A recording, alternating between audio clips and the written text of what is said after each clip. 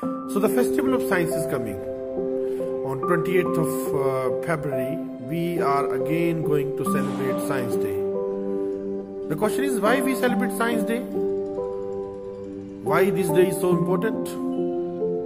And we understand that after the discovery of Raman effect, which was a breakthrough for the Indian science, government decided to bring and nurture better minds for science and, and hence technology. So, keeping this in mind, every year we celebrate Science Day so that we can have better mind, better students in science, and hence they can cultivate better technology.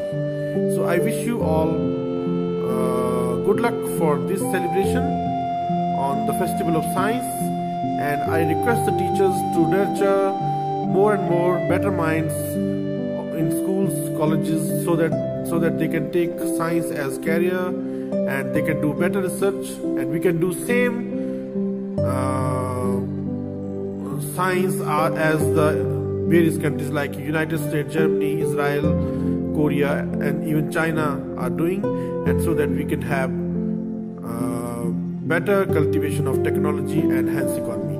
Let India become in future the science and technology based